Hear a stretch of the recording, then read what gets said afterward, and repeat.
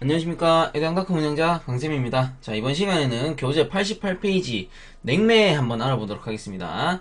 자 냉매 정의에서 첫 번째 줄에 줄을 좀 꺼주세요. 냉매란 대기압하에서 쉽게 증발할 수 있는 액체로. 자 대기압하에서 쉽게 증발할 수 있는 액체. 자 여기까지 줄을 좀 꺼주세요.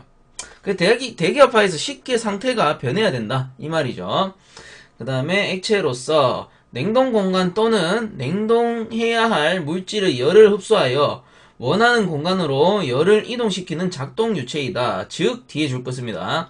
냉동 사이클을 순환하면서 온도 상 온도 또는 상태 변화에 의해 열을 운반하는 동작 유체이다. 뭐 동작 유체, 작동 유체 같은 말이죠.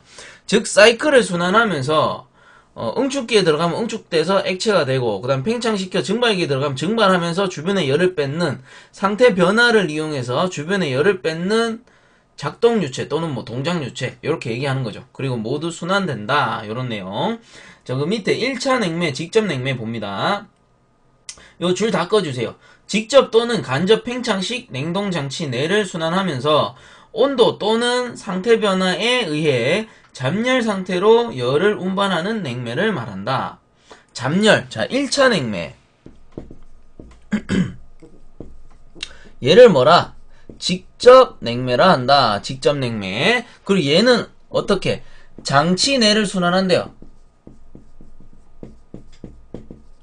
즉, 제가 앞에서 그려드린 구성도들, 압축, 응축, 팽창, 증발, 하면서 어떻게 상태가 변하죠. 액이 되기도 하고 기체가 되기도 하고 요 냉동 사, 사이클 안에 냉매가 순환하는 상태. 이게 뭡니까? 이게 1차 냉매. 그리고 어떤 상태로 잠열 상태로 냉동 효과를 발휘한다.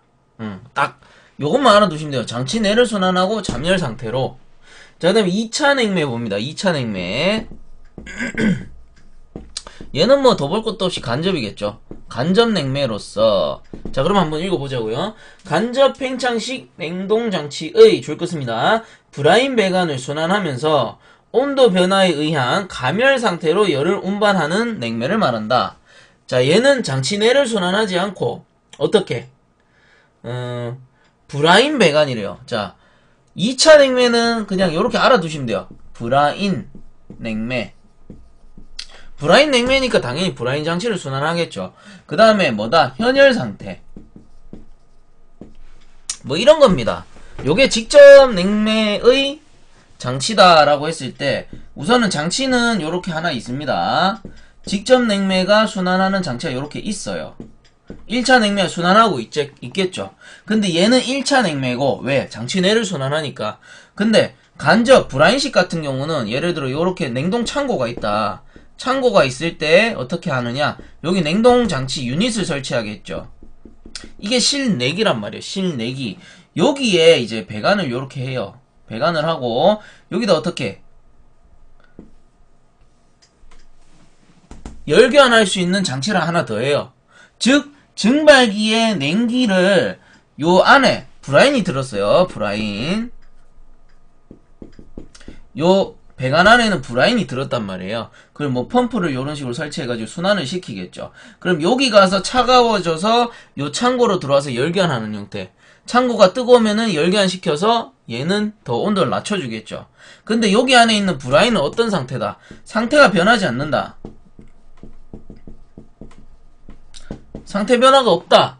그러므로 어떤 상태? 현열 상태. 현열 상태로 열을 교환시킨다. 이게 뭡니까? 브라인 냉매고 2차 냉매라고 하는 겁니다. 예를 들어서 1차 냉매 요게 실내에 들어간다. 라고 했을 때는 그냥 1차 냉매로 끝이 나는 거고 어떤 장치를 한 개 더 해가지고 현열 교환 상태로 이렇게 열교환 시켜주는 유닛이 있다 라고 하면은 2차 냉매가 되는 거예요.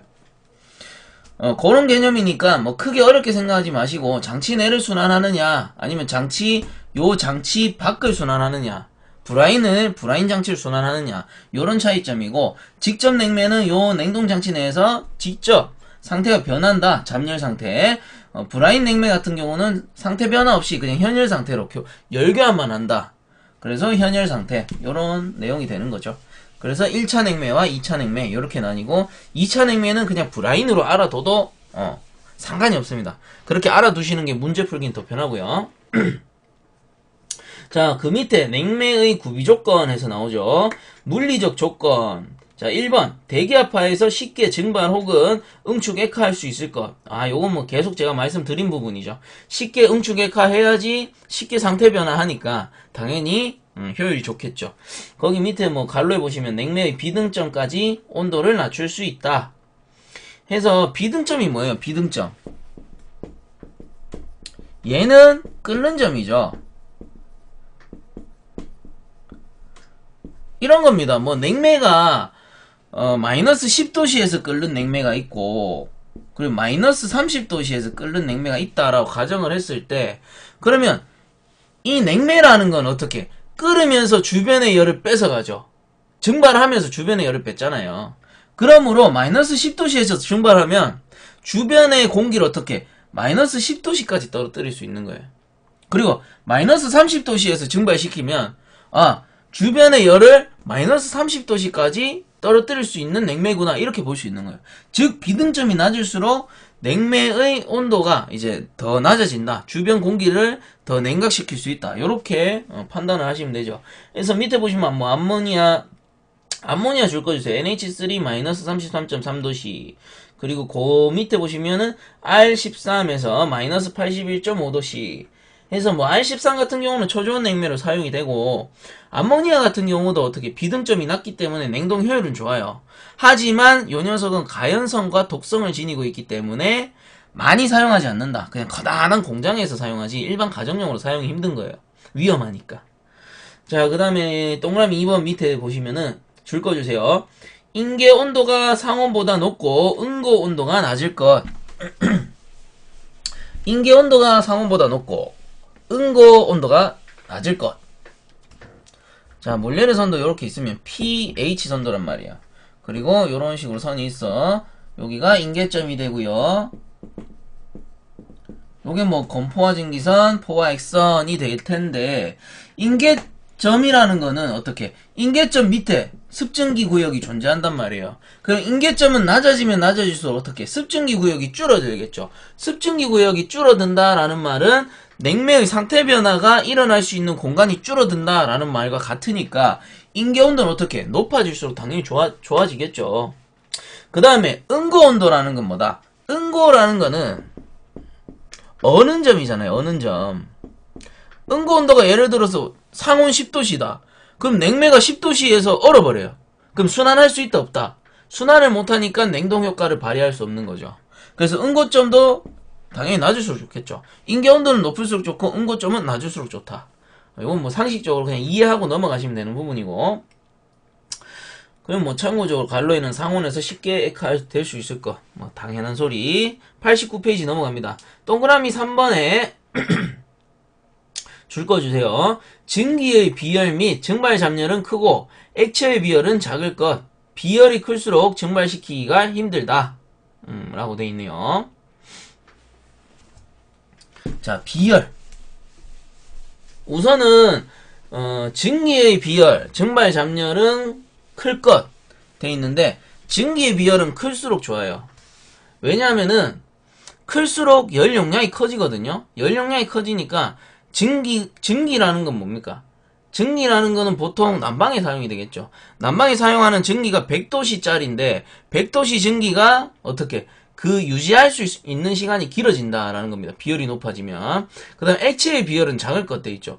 액체의 비열은 왜 작아야 되냐? 밑에 나옵니다. 비열이 크면 클수록 증발시키기, 증발시키기가 힘드니까. 냉매는 증발하면서 주변의 열을 뺐는데 증발시키기가 힘들다. 그럼 비열은 낮을수록 좋은 거겠죠. 쉽게 증발시키기 위해서. 그래서 비열, C, 요게 비열이죠.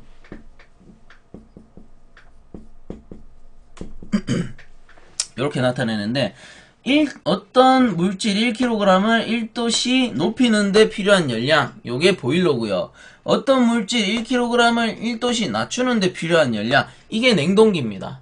그러면 어떤 물질 1kg을 1도씨 온도를 떨어뜨릴 때 필요한 열량이 작으면 작을수록 쉽게 열을 뺏을 수가 있겠죠. 그러니까 비열 액체일 경우에는 비열이 낮을수록 좋습니다. 낮을수록 음. 자, 그 다음에, 음, 요거는 난방기하고 좀 헷갈리는데 뒤에 가면 브라인이라고 나와요. 브라인. 브라인 같은 경우는 비열이 클수록 좋다라고 나오거든요. 그러면 비열 같은 경우 얘는 뭡니까?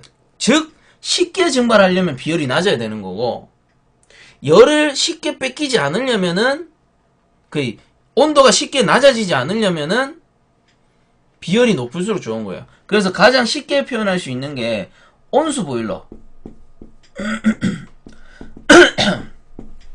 자, 온수 보일러를 예를 들어 두 대가 있습니다. 얘가 80도씨 온수 보일러고 얘가 똑같이 80도씨 온수 보일러입니다. 그리고 얘는 비열이 1이고요. 얘는 비열이 2다. 아, 2가 아니고 한 10 정도 합시다. 10 정도 된다라고 했을 때 자, 요 온수 보일러 같은 경우는 이 안에 있는 물을 80도씨로 데워가지고 요 80도씨의 물을 실내로 순환시키죠. 얘도 똑같이 실내로 순환시킵니다. 근데 요 80도씨를 유지할 수 있는 시간이 비열이 1일 경우에는 30분 걸렸어요. 그 30분이 지나니까 온도가 쭉 떨어진 거야. 그리고 비열이 10일 때는 어? 얘는 2시간이 유지가 됐네?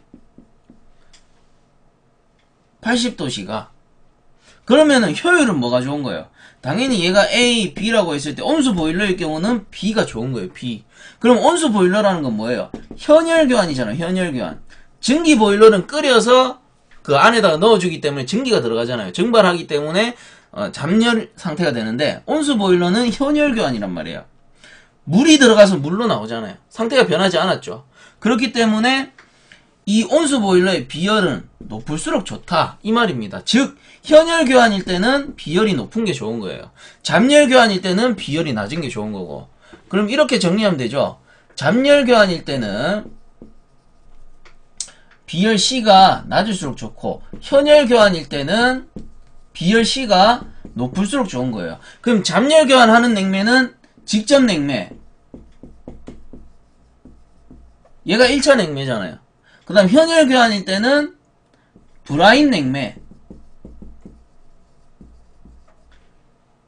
얘가 잠열 교환이고 얘가 현열 교환이니까 당연히 비열비는 잠열 교환 직접 냉매가 낮을수록 좋고 그 다음 브라인 현열 교환하는 브라인 냉매는 높을수록 좋다. 이런 결론이 나오는 거죠. 이게 문제에 나옵니다. 어, 브라인의 경우 현열 브라인의 경우 특징으로 틀린 것은 해가지고 비열이 작을수록 좋다 하면 틀려버리는 거죠. 뭐 이런 식으로 문제가 나오기 때문에 제가 조금 시간이 걸리더라도 이렇게 설명을 드린 거고 자 다음 4번 보시면은 같은 냉동 능력에 대한 냉매 가스의 비체적이 작을 거돼 있죠. 같은 냉동 능력에 대한 냉매 가스의 비체적이 작을 것. 이런 거죠. 비체적이 뭡니까? 미터 삼승 per 킬로그램이란 말이에요. 미터 삼승 per 킬로그램. 그러면 어떤 물체 1kg이 가지는 비체적 요런 두께가 되겠죠. 두께. 음. 얘가 미터 미터 미터니까. 그럼 얘를 A라고 두고요. 그 다음 똑같은 1kg인데요. 어, 비체적이 뭐 이만하다. 어, 이만하다. 라고 했을 때, 어, 얘는 비체적이 그러면은 A보다는 크겠죠. 그 얘가 B가 된다. 그럼 압축기가, 압축기가 이렇게 존재한다라고 합시다. 압축기가 존재했을 때, A라는 유체를 여기 넣는 게 많이 들어가요. B라는 유체를 여기 넣는 게 많이 들어가요. 당연히 A라는 유체가 한 번에 들어갈 수 있는 양이 많겠죠. 즉, 최적 효율이 높아진다. 한 번에 압축을 많이 할수록 효율은 높아질 수밖에 없죠. 많은 냉매량을 압축할수록. 그러므로 비체적은 어떻게? 아, 작을수록 좋다. 당연히 작은 거는 A가 되겠죠. 이런 설명입니다. 같은 냉동 능력에 대한 냉매가스의 비체적이 아, 작을수록 효율이 좋구나. 음, 그런 내용이 되고, 그 밑에 5번. 같은 냉동 능력에 대한 동력이 작을 것. 이건 뭐 크게 말할 것도 없죠. 냉동 능력은 일정할 때 일을 많이 할수록 효율이 좋아요. 일을 적게 할수록 효율이 좋아요. 당연히 적게 하고 같은 능력을 내면 그놈이 좋은 거지. 가성비가 좋다. 이렇게 얘기를 많이 하잖아요, 요즘에. 그래서 5번, 음, 뭐 그런 내용이 되고, 5번도 줄을 좀 꺼주시고. 자, 그럼 6번. 증기 비열비가 작을 것. 증기의 비열비가 작을 것.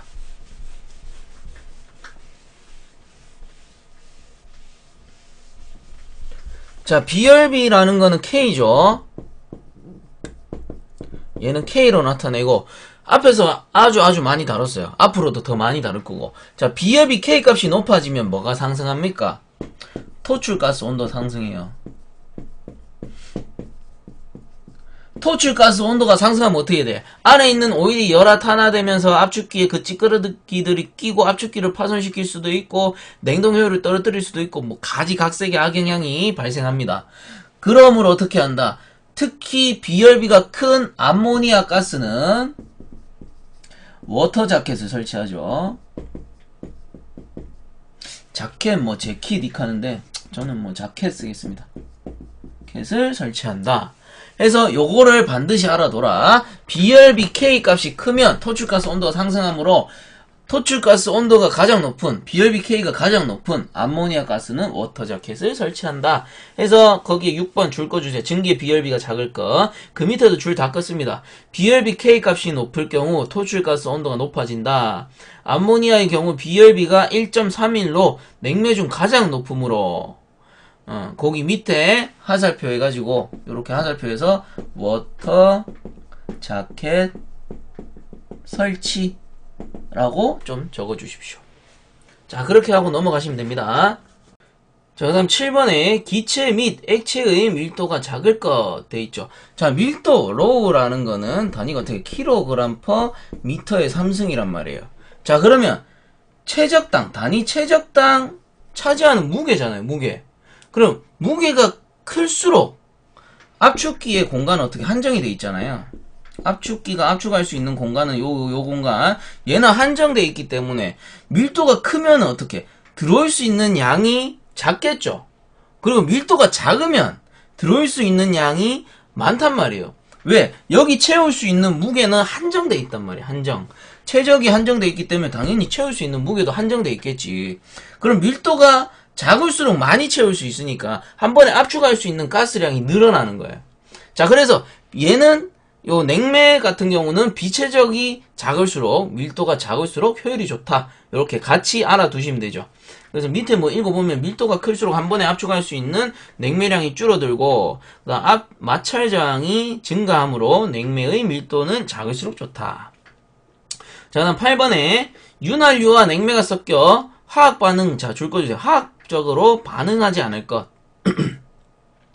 그래서 뭐 어, 압축기 안에는 오일이 존재하죠. 윤활유. 윤활유가 존재하고 냉매가 들어왔다 나갔다 막 이렇게 하는데 요 냉매랑 윤활유가 화합해가지고 뭐 산성분을 발생시킨다라던가 온도를 막 확 올려버린다던가 이래버리면은 냉동장치에 파손을 어, 일으킬 수 있고 그리고 잘못하면 뭔가 주변에 독가스 같은 것들이 유출될 수가 있겠죠.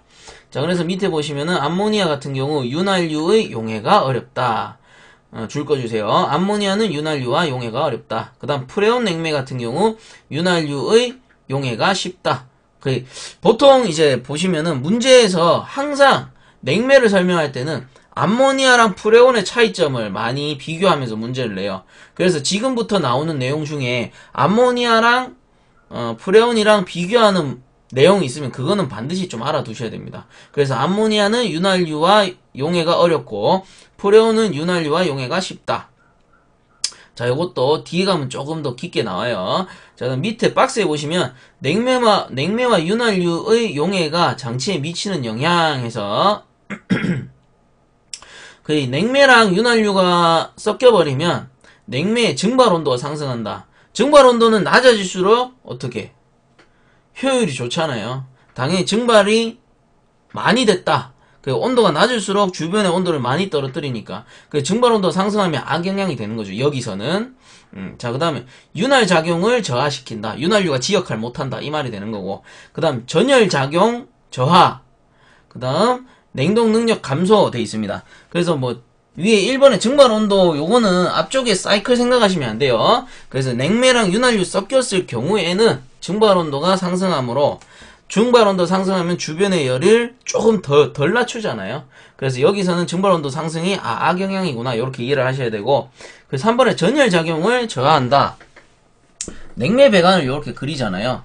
냉매 배관을 이렇게 그릴 경우 냉매가 예를 들어 이렇게 가득 차서 흘러간다라고 했을 때 어, 주변에 요 증발기에서 팬을 불어 가지고 팬을 불어서 실내 32도짜리 공기를 불어넣는단 말이에요. 그럼 냉매는 어떻게? 증발기 안에 냉매는 최소 마이너스 5도씨 이하일 거란 말이에요. 그럼 열기 안에서 나가면서 실내 온도를 급감시키겠죠. 한, 뭐, 한 10도씨 정도까지 열견해서 나가는데, 이 열견하는 부분이 여러분들, 어딜까요? 요 배관의 중심일까요? 배관의 표면일까요? 당연히 요 배관의 표면입니다. 배관의 표면. 표면에서 열견해서 공기가 나가는 방식이죠. 그러면, 이 안에 냉매가 가득 차 있다 라고 했을 때, 요 표면에 있는 냉매는 충분히 증발할 수 있지만, 여기 안에 있는 냉매, 가득 차고 예, 를 들어 너무 꽉 찼다 너무 많다 냉매가 그럼 여기 안에 있는 냉매는 증발하지 못하고 액체 상태로 압축기로 들어가져 버립니다. 그래서 냉매의 양은 어떻게? 항상 적절할수록 좋다. 이런 말이 많이 나오죠 자 그런 냉매량을 맞추는 거는 도표로 나와 있습니다 현장에 가보면 그래서 그런 거에 따라서 냉매량을 조절하고 배관이 길어질수록 냉매량이 늘어나거나 뭐 줄어들거나 그런 게 다 차이가 있겠죠. 근데 여기서 보시면 전열 작용을 저하한다. 냉매와 오일이 섞였을 경우 그럼 여기 안에 냉매만 지나가는 게 아니고요.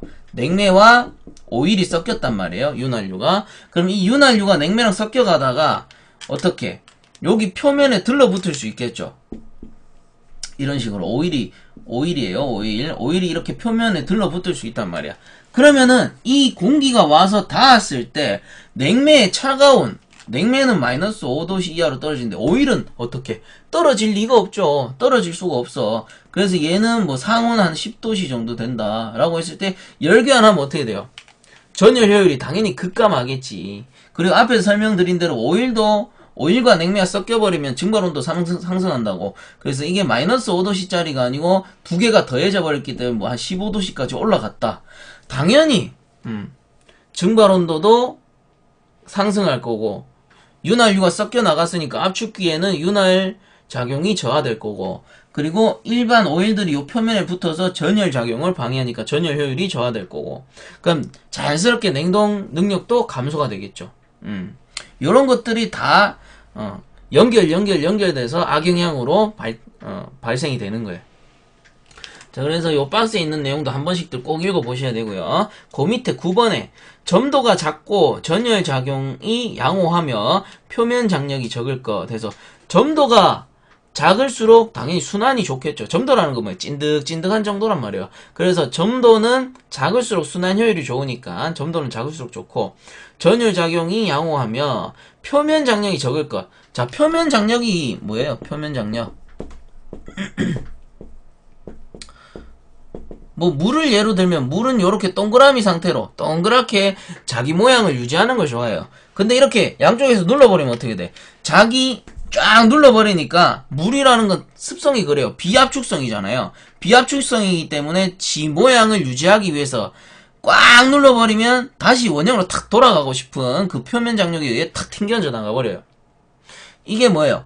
액압축이잖아요. 액압축. 액압축 됐을 때 액압축을 liquid back이라고 해요. liquid back이 발생했을 때 튕겨져 나가면서 장치를 때리는 것을 oil hammering이라고 얘기를 하죠. 그래서 표면 장력은 적을수록 좋다. 표면 장력이 적다, 없다 이런 건 기체죠. 그 밑에 보시면은 점도가 클 때 장치에 미치는 영향에서 그거 세 개 이렇게 묶어서 별표해 주시고요. 압축기 최적 효율이 감소되고 배관 내의 유동 저항이 증가되고 냉동 능력이 감소된다. 음, 순환이 잘 안 되니까 효율 자, 자연스럽게 효율이 떨어지는 겁니다. 그 다음 밑에 표면 장력 나오는데 요건 줄만 걷게요. 두 번째 줄에 중간쯤에 보시면 벽과 같은 표면적이 생기면 자신의 형태를 유지하기 위해 그 표면적에 비례하는 에너지가 생기게 되고 이 에너지를 최소로 만들려 만들려는 작용을 표면 장력이라 한다. 그 밑에까지 암모니아 전열이 양호하여 나간을 설치한다. 프레온 냉매에 전열이 불량하여 핀 튜브를 설치한다. 나관이라는 것은 노출된 배관이죠. 그래서 노출된 배관, 즉 단열을 하지 않은 배관이 되는 거고 어, 프레온 같은 경우는 효율이 좋지 않아서 핀 튜브를 설치한다 해서 어, 암모니아 배관은 그냥 이렇게 생겼어요. 동그랗게 해가지고 이런 식으로 이렇게 생겼고 어, 프레온 같은 경우는 어떻게 하느냐면 자 얘가 암모니아 했을 때 요 동그란 구간들 있죠. 요 표면 표면이 전부 뭐예요? 열교환할 수 있는 면적이란 말이에요.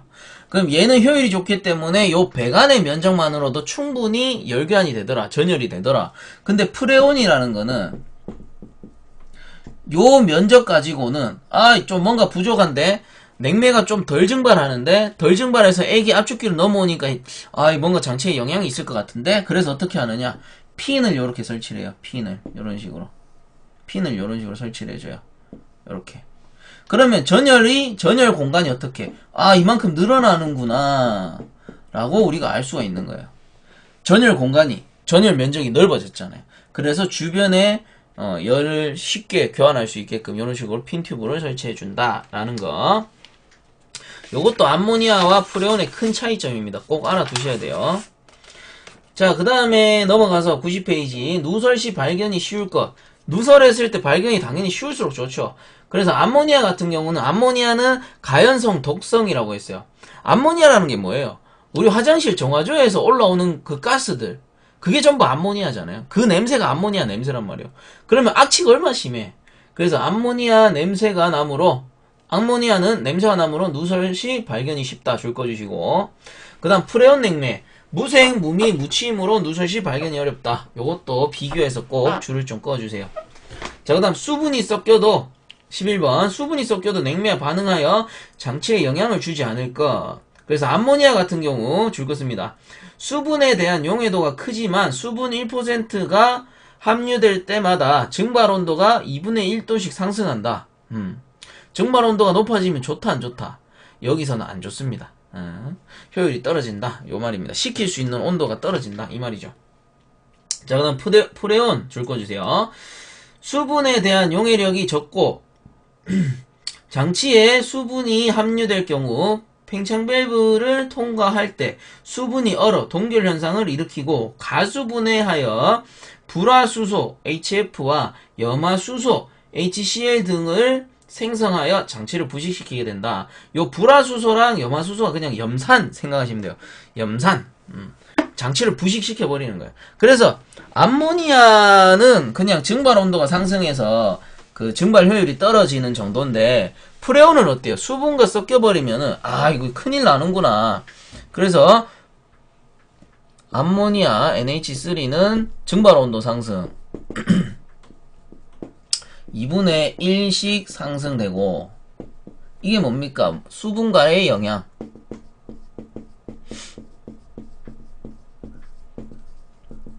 프레온은 얘는 어떻게 돼요? 우리가 장치가 압, 압축, 응축, 팽창, 증발 이렇게 있으면 요 팽창 밸브 직후에 여기 요 구간 있죠. 여기는 최소 마이너스 5도씨입니다.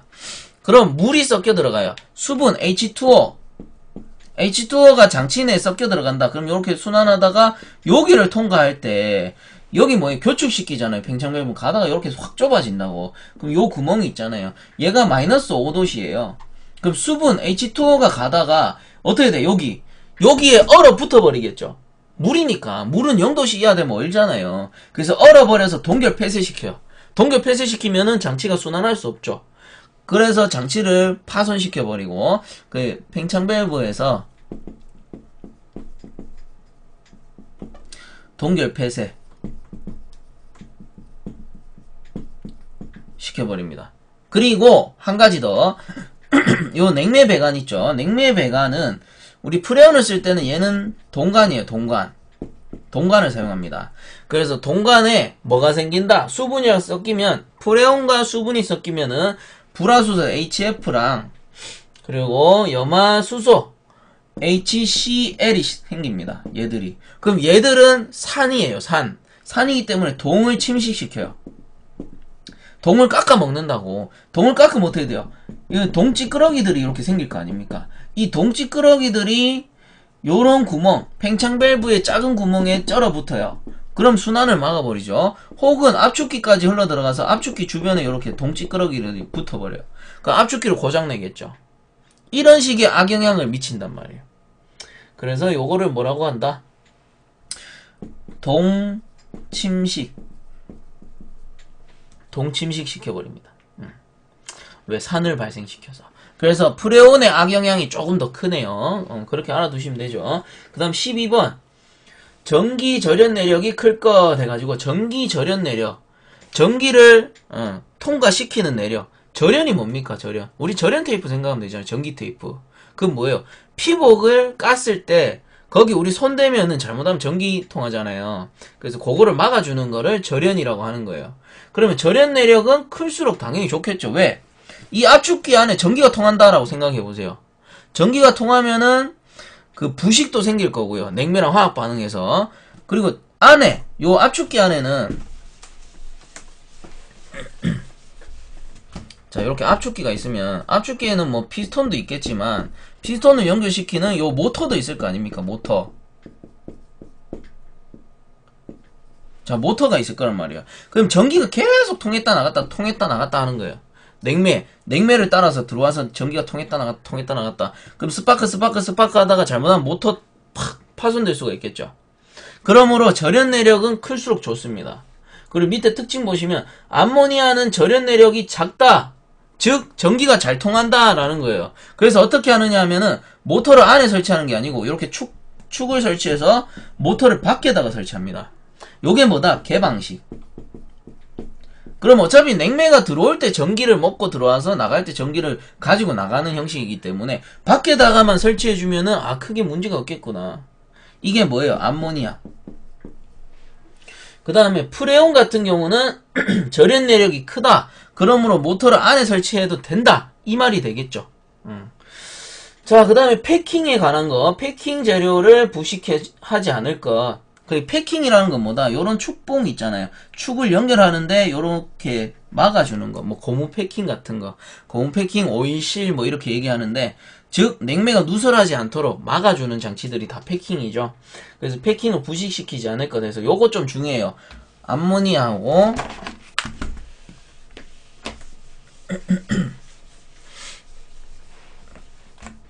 자, 패킹에 가는 거 NH3 그리고 프레온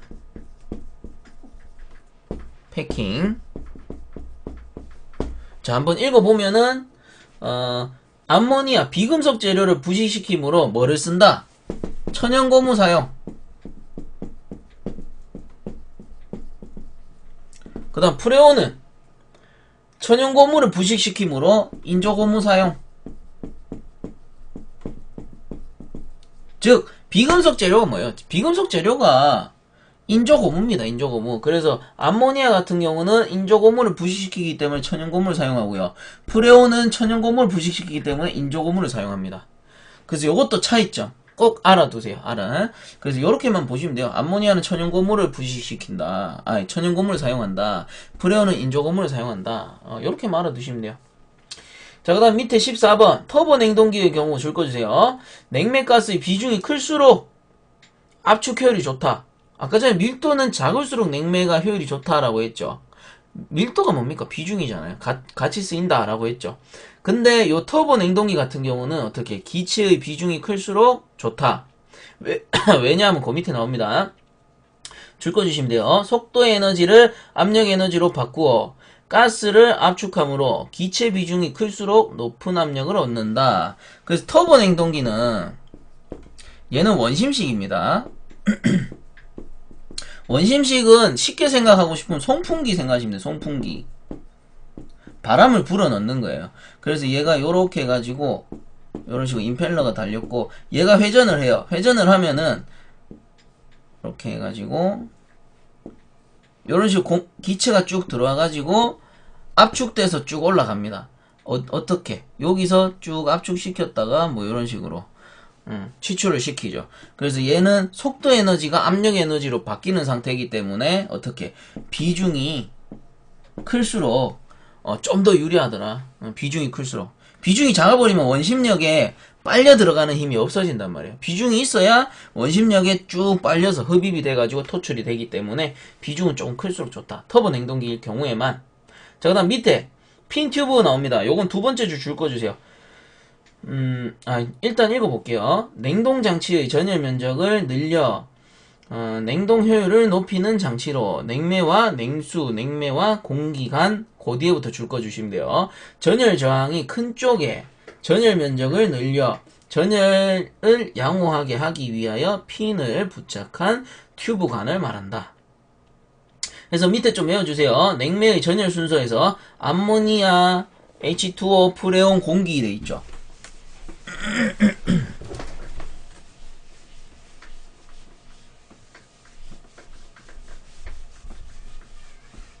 자, 암모니아, H2O, 그리고 프레온, 공기, 뭐 에어라고도 하고. 그래서 요거는 좀 외워주셔야 돼요. 암, 물, 후, 공. 응. 암물, 후공. 해서 암모니아 가장 전열 효율이 좋고 그 다음 물, 그 다음 프레온, 그 다음 공기. 그래서 암모니아가 냉매로서는 아, 주 이상적이다, 아주 좋다. 하지만 얘를 많이 사용하지 않는 이유는 가연성이고 독성이기 때문에 일반 가정용으로 사용하기는 아주 위험하다. 그러므로 일반 가정용에는 프레온을 많이 씁니다. 음. 그리고 규모가 커지면 물을 쓸 때도 있고 더 커지면 안전장치가 있으니까 암모니아를 쓸 때도 있어요. 그런 식으로 개념을 갖고 가시면 되고. 그래서 요 밑에 보시면은 fin tube의 종류에서 나오죠. Low fin tube. 튜브 내로 전열이 양호한 유체가 흐르고 튜브 밖으로 전열이 불량한 유체가 흐르고 있다. 어, 그 줄 그십니다. 있을 때 전열이 불량한 튜브 밖에 핀을 설치한다. 요게 우리가 흔히 보는 가정용 에어컨이에요. 가정용 에어컨 보면 증발기에 핀이 쭉 붙어 있거든요.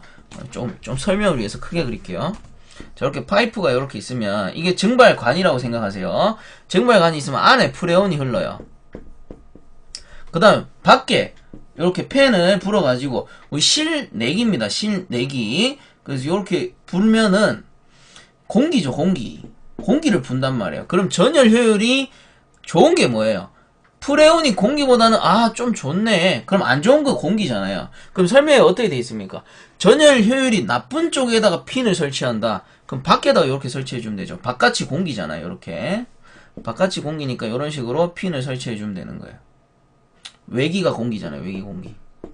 그 얘가 뭐다? 바깥에 설치된 게 Low fin. Tube. 그리고 반대로 음. 자 예를 들어서 이렇게 배관이 있고 음, 요거는 배관을 좀 더 크게 그려야겠네요 배관이 이렇게 있고 외부에 어, 물이 흐르고요. 아니다 아니다 아니다. 아 그래 그래. 물로 하자. 외부에 물 H2O가 흐르고요. 시, 요 배관 안에 어, 프레온 프레온이 흐른다 라고 했을 때 자 효율이 어디가 좋습니까? 물이 좋죠. 물이 좋고 전열 효율이 프레온 쪽이 낮으니까 배관 안에다가 이렇게 설치를 해줘요. 이렇게 핀을 배관 안에다가 설치해 줍니다. 그래서 이 핀에 의해서 전열 효율을 늘리는 거죠. 그래서 이 안쪽에 배관 안쪽에 설치된 거를 뭐라 한다? Inner fin tube 라 한다는 정도. 그래서 니은에도 두 번째 줄 뒤에 줄 그어 주세요. 전열이 불량한 튜브 내에 fin을 설치한다. 이게 답니다. 어. Low fin tube, inner fin tube, 암물 프공. 그 다음 91페이지에 보시면 박스에 암모니아 해서 암모니아는 냄, 전열이 양호함으로 fin tube를 부착시키지 않는다 줄 그시고 그 다음 프레온, 프레온 냉매의 경우 전열이 불량하여 fin tube를 부착시킨다. 라는 거.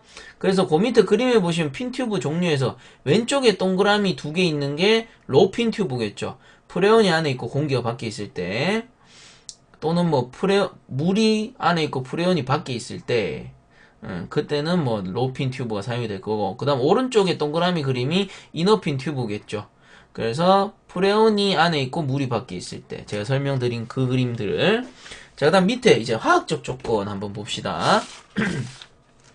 화학적 조건 줄만 쭉쭉쭉 끝, 끝으로 갈게요. 뭐 당연한 소리입니다. 읽어보면 화학적으로 안전할 것. 아까 말했죠. 어, 오일하고 냉매하고 섞여가지고 이상한 물질이 발생되면 안 된다고. 그 다음 2번. 금속을 부식시키지 않고 윤활유를 열화시키지 않을 것. 당연한 소리죠. 그래서 밑에 보시면은 암모니아에 줄거 주세요. 동 및 동화금을 부식시킨다. 자, 그리고 프레온은 마그네슘과 마그네슘 2% 이상 함유한 알루미늄 합금을 부식시킨다 까지 줄을 좀 꺼주세요. 자, 요거는 문제 좀 자주 나오기 때문에 한번 짚고 넘어가도록 하죠.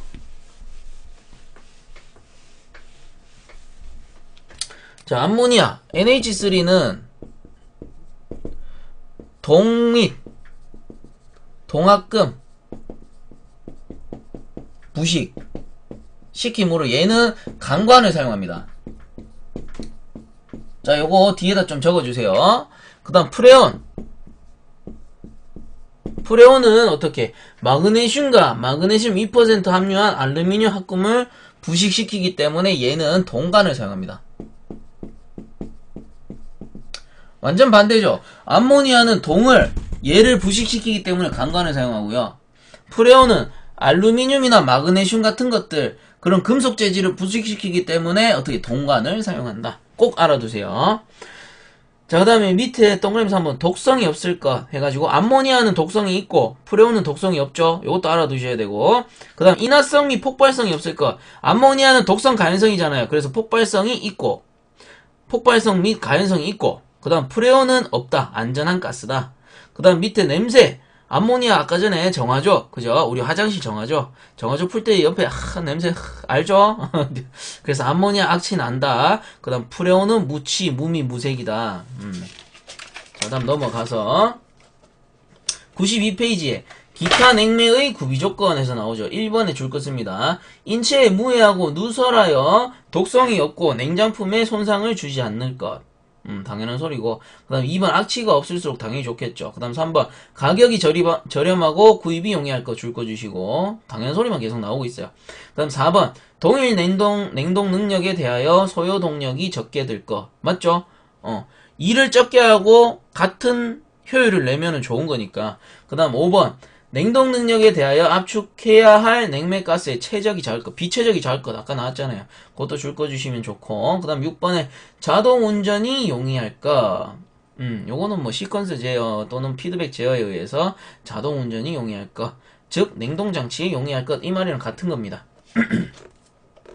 자, 다음 그 밑에 냉매 종류에서 화학적 분류해서 무기화합물, 탄화수소, 할로게나 탄화수소, 공비혼합물 나오는데 거기에 대한 상세 내용이 밑에 나오죠. 동그라미 이번에 무기화합 물의 종류는 암모니아, 탄산가스, 아항산가스, 물. 이 쭉쭉 넘어가는 게 중요하지 않기 때문에 넘어가는 거예요. 그 다음 3번에 탄화수소의 냉매, 메탄, 에탄, 에, 에틸렌, 프로판 뭐 그냥 넘어갑니다. 그 밑에 할로게나 탄화수소 얘는 좀 중요해요. 한번 읽어보면 한 개 이상의 할로게나 원소 F, Cl 그리고 브롬 요드 얘가 음, 플로린 염소 브롬 요드 음, 를 함유한 그래서 포함하는 탄화수소로 이 중 F를 포함하는 냉매의 종류는 대단히 많은 종류가 있으며 상품명에 따라 줄 것입니다. 뒤에서부터 프레온 자, 프레온이라 한다. 프레온 냉매 종류 R11, R12, R22, R123 외에도 엄청나게 많아요. 그래서 R 뭐뭐 이렇게 표시를 한다라는 것까지만 좀 알아두시면 되고 즉 얘가 뭡니까? 프레온이 할로게나 탄화수소의 냉매구나. 요거를 알아두셔야 된다라는 거죠. 음. 그리고 여기서 보시면은 CL 요게 뭡니까? 요 염소 성분, 염소 성분, 염소 이 녀석이 뭐예요?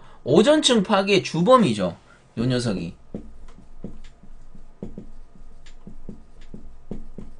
그러므로 요즘에 할로게나 또는 프레온 냉매 같은 건데 요 녀석의 사용 빈도가 줄고 있어요. 점차적으로 아마 없애버릴 거예요.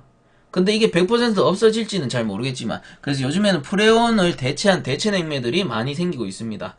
자, 그 다음에 93페이지에 공비 혼합 냉매 해가지고 프레온계 냉매 중 줄거 주세요 뒤에 두 종의 냉매를 적당한 중량비로 혼합하여 액상 또는 기상에서 처음 냉매와 전혀 다른 하나의 새로운 특성을 나타내는 냉매 해가지고 뭐 이런 거죠. 그 92페이지 밑에 보시면 R11, R12, R22, R113 외에도 많은 냉매가 있는데 이거를 두 개를 비중을 잘 조절해가지고 딱 섞어보니까 기존의 한 개일 때보다 증발 온도가 훨씬 낮아지고 어, 압축 일량이 감소하는 좀 효율이 높은 냉매가 탄생하더라. 그래서 공비 혼합 비중을 어, 딱 정해가지고 그렇게 섞어서 사용하는 냉매가 뭐다? 공비 혼합 냉매다.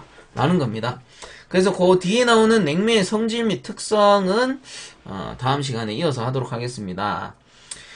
자, 본 강의가 도움이 되셨다면 유튜브 에듀왕닷컴 검색 후에 구독과 함께 영상 하단에 보시면 따봉 버튼 있습니다. 따봉 버튼 한 번씩만 눌러주시면 감사하겠습니다. 자, 수업 들으시느라 고생들 많으셨습니다. 수고하셨습니다.